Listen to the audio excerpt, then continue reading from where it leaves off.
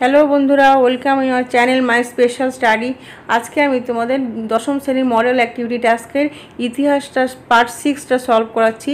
এর আগে আমি তোমাদের মডেল অ্যাক্টিভিটি টাস্কের আরও অনেক কোশ্চেন পেপার সলভ করে দিয়েছি বিভিন্ন বিষয়ে তোমাদের তাই যদি ভালো লাগে ভিডিওটাকে লাইক করে দিও চ্যানেলটাকে সাবস্ক্রাইব করে নিও। মডেল অ্যাক্টিভিটি টাস্কের দশম শ্রেণির ইতিহাসের প্রথম প্রশ্নটি হলো, নিচের প্রশ্নগুলির উত্তর লেখো। এক ক স্তম্ভের সাথে খ স্তম্ভ মেলাও। ওয়ান পয়েন্ট ওয়ান ক স্তম্ভে আছে বঙ্গভাষা প্রকাশিকা সভা। ওয়ান পয়েন্ট টুতে আছে ভারত সভা। ওয়ান পয়েন্ট থ্রিতে আছে ভারতীয় জাতীয় কংগ্রেস এবং ওয়ান পয়েন্ট ফোরে আছে ইলবার্ট বিল। আর খ স্তম্ভে আছে ক, আঠেরোশো তিরাশি খ্রিস্টাব্দ। খতে আছে আঠেরোশো ছত্রিশ খ্রিস্টাব্দ, গতে আছে আঠেরোশো পঁচাশি খ্রিস্টাব্দ এবং ঘতে আছে আঠেরোশো ছিয়াত্তর খ্রিস্টাব্দ। ওয়ান পয়েন্ট ওয়ানে বঙ্গভাষা প্রকাশিকা সভা। তার সেটার সঙ্গে সঠিক উত্তরটা হবে ক্ষয়ের আঠেরোশো ছত্রিশ। ওয়ান পয়েন্ট টুতে ভারত সভা।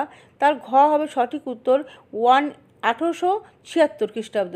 আর ওয়ান পয়েন্ট থ্রির যেটা ভারতীয় জাতীয় কংগ্রেস, তার গ হবে সঠিক ম্যাচিং আঠেরোশো পঁচাশি। আর one point four Ilbert bill হবে, ক হবে আঠেরোশো তিরাশি। টু পয়েন্ট ওয়ানে আছে কোশ্চেন সত্য মিথ্যা বলতে হবে।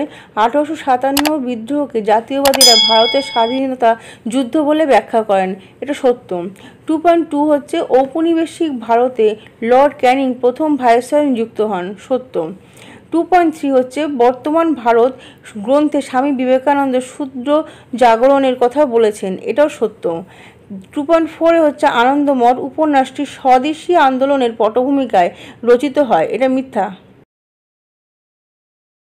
এবার আসি তিনের এক নম্বর কোশ্চেনে তার আগে তোমাদের যদি ভিডিওটি ভালো লাগে, তাহলে লাইক দিয়ে চ্যানেলটিকে সাবস্ক্রাইব করে নিও। গোড়া উপন্যাসের মধ্যে দিয়ে কোন দণ্ডের প্রতিফলন লক্ষ্য করা যায়? পৃথিবী বিখ্যাত কবি গুরু রবীন্দ্রনাথ ঠাকুরের গোড়া উপন্যাসের সংকীর্ণ জাতীয়তাবাদ বনাম, উদার জাতীয়তাবাদ এবং ধর্মীয় গোড়ামি বনাম, ধর্মীয় প্রগতিশীলতার অভ্যন্তরীণ ঘাত প্রতিঘাত প্রত্যক্ষ করি। উপন্যাসের কেন্দ্র চরিত্র গোড়া প্রথম জীবনে নিষ্ঠাবান হিন্দুরূপে অন্যান্য সকল ধর্মের প্রতি বিরূপ মত পোষণ। শেষ পর্বে সে উপলব্ধি করে যে ভারত মাতার কোনো রকম জাতিগত এবং ধর্মীয়গত সংকীর্ণতা নেই। এই গ্রন্থের মাধ্যমে থেকে জাতীয়তাবাদের সর্বত্র ধরেছেন।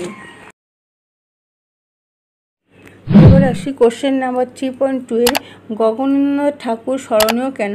বেঙ্গল স্কুল অফ আর্টের অন্যতম প্রধান বিচারপতি স্থপতি গগনেন্দ্রনাথ ঠাকুর মূলত একজন ব্যঙ্গচিত্র শিল্পী রূপে ইতিহাসে স্মরণীয়। স্বদেশবাসীর দুঃখ কষ্টে তিনি নির্লিপ্ত থাকতে পারেননি।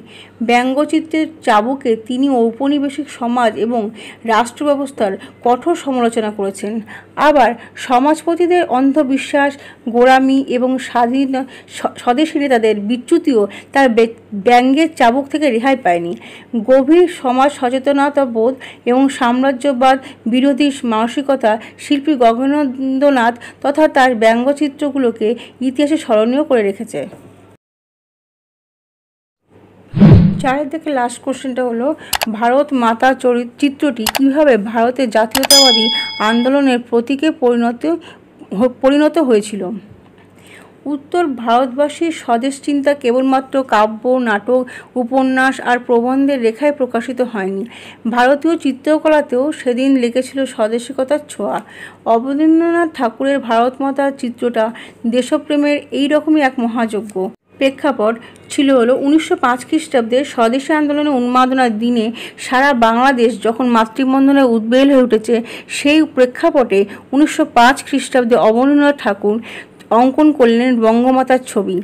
পরে ভগিনী নিবেদিতা এর নাম দেন ভারতমাতা। এবার চিত্রবর্ণনা কী আছে না? গৈরিক বস্ত্রে মণ্ডিতা, এই মাতৃভূমি চতুর্ভুজা। চার হাতে তার এক একটিতে ধরা রয়েছে ধানের শীষ, শ্বেতবস্ত্র, পুস্তক এবং জপের মালা। অর্থাৎ সন্তানের প্রতি মায়ের দান, যেন হলুদ রঙের মোলায়েম, কিন্তু দীপ্ত আবরণ। মাথার পিছনে বৌদ্ধিক জ্যোতির্বল রবিরশ্মির মতো উজ্জ্বল। গলায় রুদ্রাক্ষের মালা, পাদুখানি উজ্জ্বলতা বহ পদপ্রান্তে প্রস্ফুটিত শ্বেতপদ্ম। ভিডিও যদি তোমাদের ভালো লাগে, তাহলে তোমরা অবশ্যই লাইক করে দিও এবং পরের মডেল অ্যাক্টিভিটি টাস্কগুলোকে পাওয়ার জন্য চ্যানেলটাকে সাবস্ক্রাইব করে নিও।